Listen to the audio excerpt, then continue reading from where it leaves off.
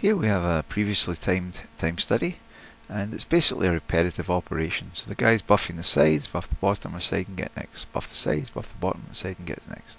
Okay, so it repeats itself over and over again. Then we want to add our actual cycle count in here. So what I'm going to do is click on the time study and I'm going to go to my cycle here.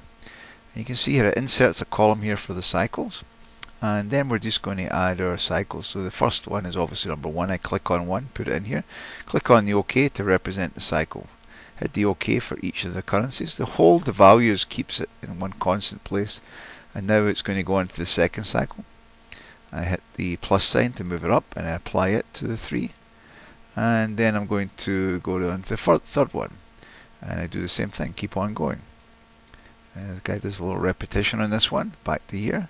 That's the end of the third one. And now we're going to go to the fourth one. Okay, so you can see I'm doing. I'm quickly identifying the cycles as you go down through the uh, the observations here. Just run down through here. You can actually do it in real time as well. In other words, if you save the observation with this up, but uh, uh, to be honest, very rarely see people recording the cycle as at that particular point in the process. This gives you an easy way to identify which steps are included in which cycle that the operator is working in.